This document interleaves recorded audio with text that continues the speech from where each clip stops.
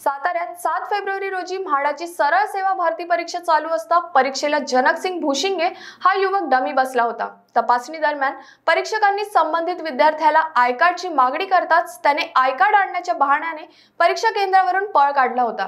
या डमी विद्यार्थ्याविरोधात सातारा तालुका पोलिसात वरिष्ठ लिपिक मनोज कुमार माने यांनी तक्रार दिली असून या युवकावर गुन्हा दाखल करण्यात आला असल्याची माहिती पोलीस निरीक्षक विश्वजित घोडके यांनी दिली आहे. कुमार माने हे वरिष्ठ लिपिक आहेत. यांनी पोलीस स्टेशनला येऊन तक्रार दिली की यातील परीक्षार्थी जनकसिंग पन्नू गुशिंगे हा विद्यार्थी बसलेला होता परीक्षेसाठी आणि प त्या तो बसला असताना ज्यावेळेस परीक्षा सुरू होण्याच्या पूर्वी शिक्षकांनी ज्यावेळेस चेकिंग चालू केली त्यावेळी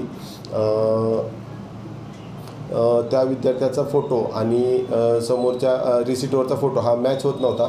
मग त्यामुळे सरांना डाऊट आल्यामुळं त्यांनी त्याला विचारणा केली असता तो म्हटला माझं दुसरं ओळखपत्र घेऊन येतो. तेव्हा आणि तो बाहेर घेऊन येण्यासाठी गेला आणि तसाच तो पळून गेला. यातून असं निष्पन्न झालं की सदरचा विद्यार्थी हा डमी बसलेला होता. त्यामुळे त्यांच्या फिर्यादीवरनं पोलीस स्टेशन सातारा तालुका येथे आय पी सी चारशे एकोणीस चौतीस तसेच Maharashtra university and board and other examinations malpractices act section सात खाली गुन्हा दाखल केलेला आहे. सदरच्या आरोपीचा शोध घेऊन त्यांना पुढील कारवाई करीत आहोत. बाकीच्या विद्यार्थ्यांना काय तुम्ही संदेश देतात? की अशा परीक्षेचं चालू असताना तुम्ही दमी बसला तर पोलीस काय कारवाई करू करतील?